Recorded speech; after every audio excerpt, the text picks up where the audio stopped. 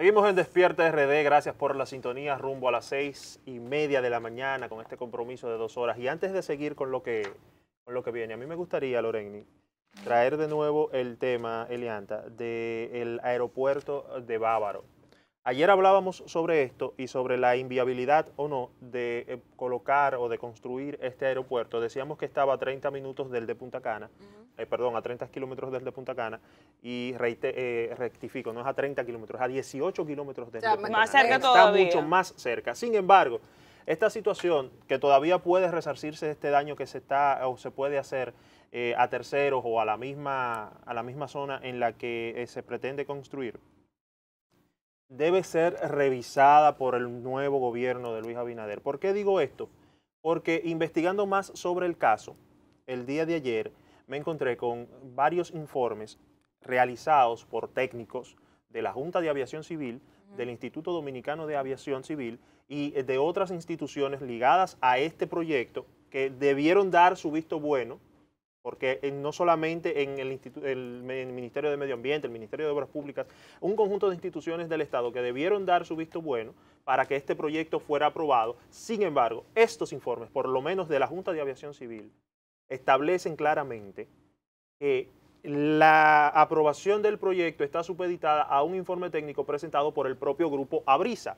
Es decir, el grupo presenta un, informe favorable y ese es el que toma el gobierno para aceptar el, proyecto. Sin embargo, eh, exactamente, el propio grupo. Sin embargo, un informe hecho por una comisión técnica de la Junta de Aviación Civil y del IDAC establece claramente que para lograr poner este aeropuerto donde lo quieren poner, tendrían que reformar todo el sistema eh, de aeronavegación, exacto, aéreo del aeropuerto de Punta Cana y del propio aeropuerto que quieren poner. Entonces eso significa que había que hacer coordinaciones con la OASI. Pero es un proyecto que supuestamente tiene estudiándose nueve meses. No que tiene conociéndose, que tiene eh, eh, investigando si es viable o no nueve meses y es aprobado en 30 días luego de presentar un informe por parte de, la propia, de la propia Por la parte interesante. pero esa parte no la conocía. Mira qué interesante lo que tú dices porque yo desconocía que ellos mismos habían hecho, el, como son, juez y parte. son juez y parte. Mira, yo te digo y te reitero, ese aeropuerto puede estar, puede estar todo totalmente legal,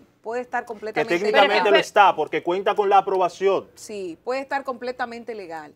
Pero, si está solo el hecho, bajo esa solo el hecho, exacto. Pero es que, pero es que pasó, pasó el sedazo, por ponerlo así. Y, lo hizo a vapor. solo el hecho, no, porque ellos dicen que tenían un año y tanto y nueve meses luchando por los permisos. Claro, pero si se necesitaba una, una supervisión o unas auditorías que no se hicieron bajo las instituciones el problema es, El problema es que se hizo, se hizo basado en lo que ellos mismos presentaron. Por eso y además de eso, se aprobó la parte ya eh, de la aprobación, se hizo a la carrera en 30 días.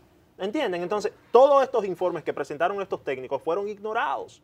Y estos informes establecen claramente la inviabilidad de este proyecto y eso es lo que debe ser revisado. Aquí hubo un, error de comunicación por parte del Estado porque no fue claro, no fue transparente en el proceso de aprobación de este, de este aeropuerto y hay que revisar y espero que el próximo gobierno, bueno ya el próximo no, este gobierno, este gobierno en la costumbre, este gobierno del presidente Luis Abinader y del Partido Revolucionario Moderno revise esta situación y si tiene que darle para atrás, le dé para atrás porque todavía estamos a tiempo. Decía Tres Patines que si usted mete la pata y la saca a tiempo, no la mete.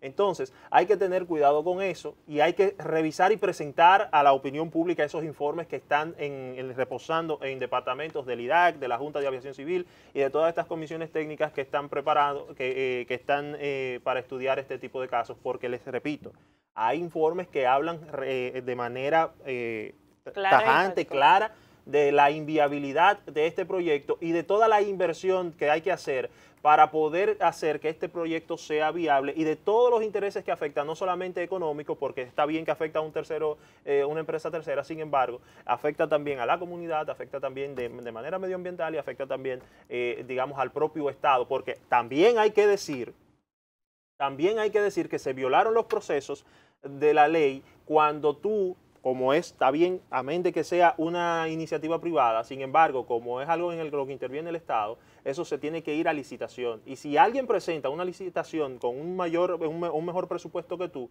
se le debe dar a, esa persona. No, no, no, necesariamente. Ahí hay, varios factores dentro de la ley de compra y contrataciones, pero no sabía que el tema del aeropuerto llevar, llevar al sí, lleva, lleva licitación. No por la ley de compras y contrataciones, por otra ley, la 340, si no me equivoco.